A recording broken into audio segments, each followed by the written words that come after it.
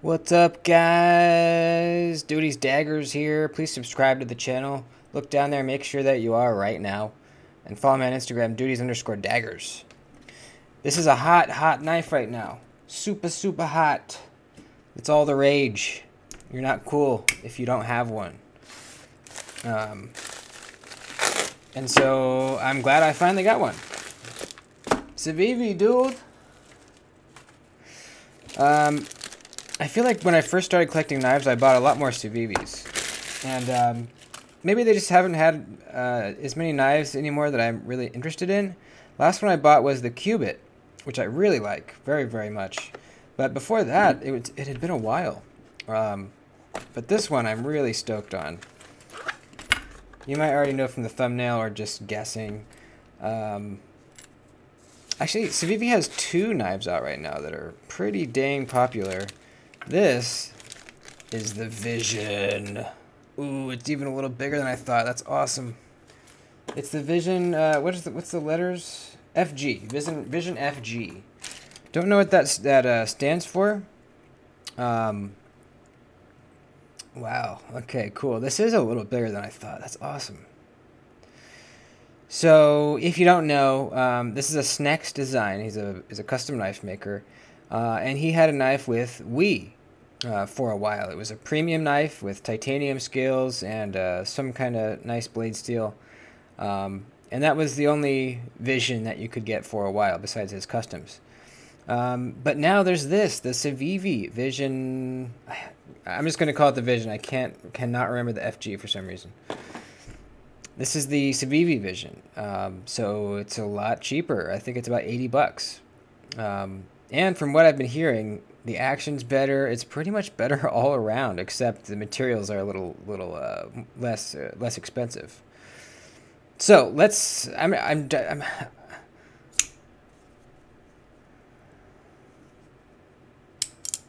Ooh. Little stick.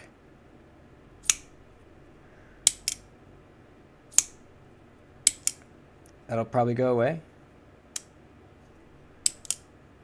Actually, kind of sounds cool with the with a little bit of click noise there.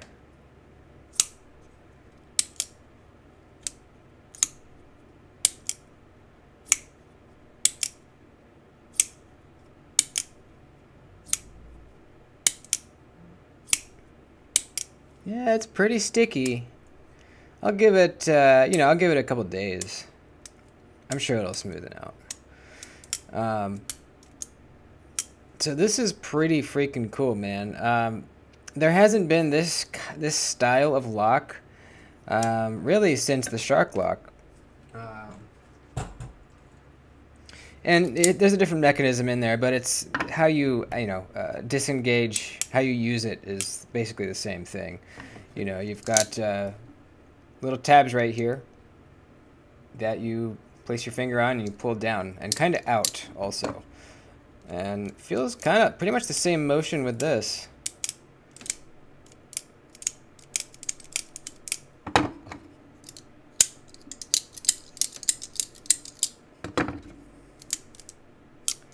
It does feel different though. It definitely feels different. Uh, you know, it's the same motion with your finger. It feels different though.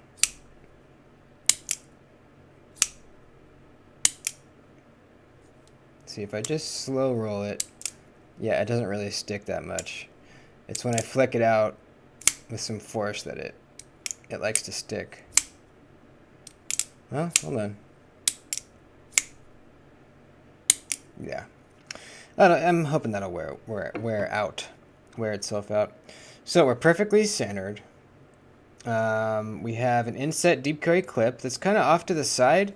Uh, I was wondering if that would mess with the ergos, and it does a, a little bit.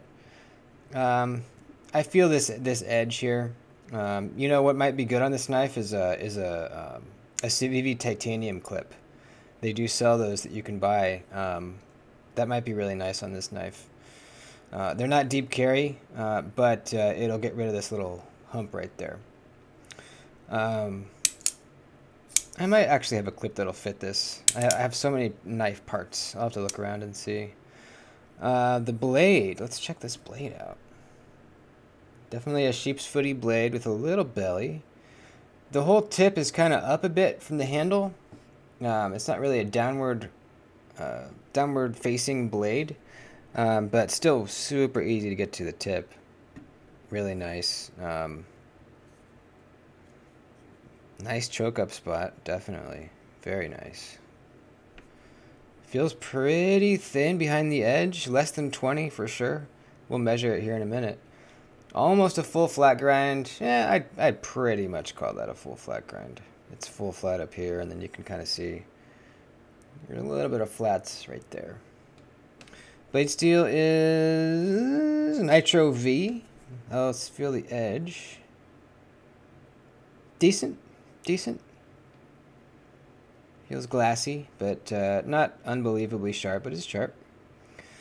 Um, designed by Snecx, right there. Nothing on the other side. That's cool. I like that very much. Full liners.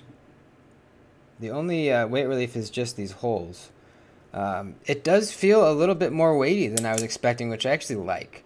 Uh, it feels like it feels sub more substantial than I thought it would. So that's really nice. I, I, like a little bit of weight to my knives. It just makes them feel more sturdy, a little bit nicer, you know. Uh, the detent feeling is not, you know, it's not crispy like you would have with the detent, uh, you know, traditional detent, uh, detent ball on a frame or liner or compression lock or something. But uh, it's definitely a bit snappier than the shark lock. Um, you can see the shark lock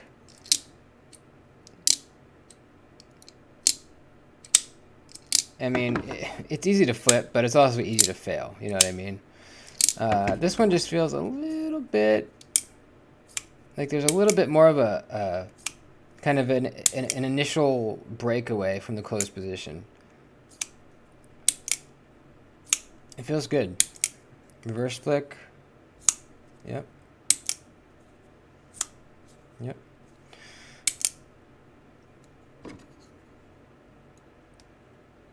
Actually, the surface area is pretty much the same. You know, uh, seeing this knife in videos, uh, this lock bar, I couldn't really tell if it was quite thin or if it was wide enough, really, to where you would get a good grip on it. You know what I mean? Uh, I'm talking about the, the width this way. Uh, but it looks to be about the same as the 5.5, the 25 point, or the 20.5, uh, I mean. Yeah, it's about the same. So that's good. That means uh, you know, it's a comfortable little landing spot for your for your finger. You can do this kind of thing, like with the shark lock. You don't get the super clicky clacky noise like you do with this.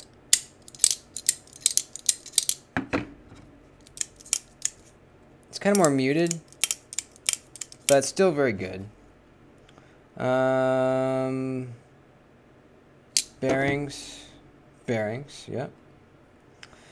This is cool, man. I, I think I'm really gonna like this. Um, I wouldn't. I don't. I mean, you you could carry this at work. This could be a work knife. Um, for what I do, this will probably be kind of like a, you know, um, around the house knife, going out on the weekend knife. Uh, probably not like hard use, although it probably could be uh, hard used. And I know it's a strong locking mechanism. Uh, but this is going to be fun, man. Yeah. If this stick goes away, um, that'll be awesome.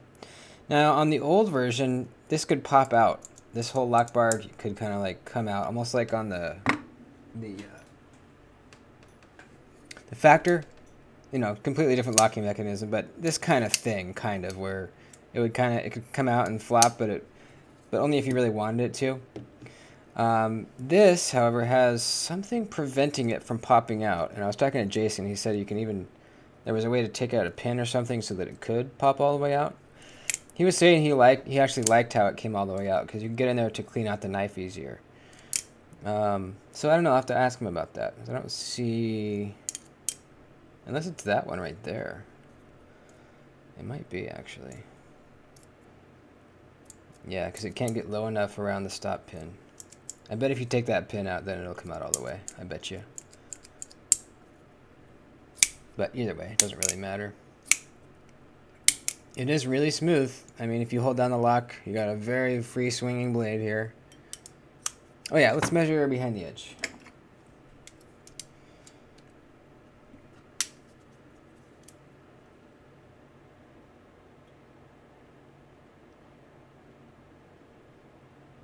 Ooh, 12, baby. 12 thousandths. Nice. Very, very nice. Uh, we got uh, 16 there, and then towards the tip, I think we go back down to 15-ish. Uh, that's great, man. That's very great. And not a, not too thick of a blade stock either. Actually, let's measure that too.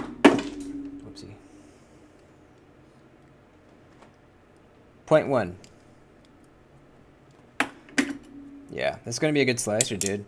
Uh, full cut test video coming. Yeah, I'm absolutely going to do a full cut test with this knife. Um, also, probably going to dye the scales. Uh, you know, no, there was a couple options on this knife. Uh, there were some micarta versions, but those had black blades. This was the only version with a satin blade, and uh, I just really wanted a satin blade. I, am not a big fan of black blades, so um, the only satin was with a jade scale, so I thought I'll get that and I'll dye it.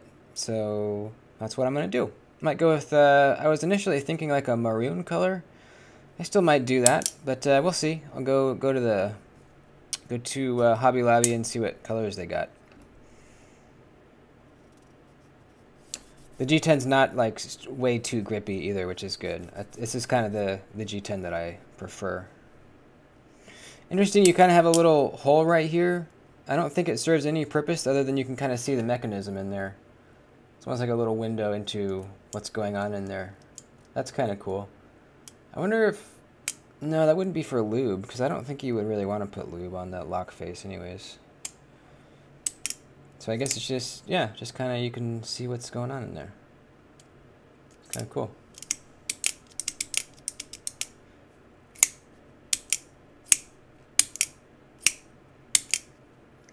Yeah, this is neat, man. This is really nice. Well, that's about it. Full cut test coming. I'll let you know how it does. Well, you'll see how it does in the video. And, um, yeah, this is the Snecx Vision from Civivi. Muy, muy bien. Please like the video before you guys head out. I'd appreciate it. I'll see you soon.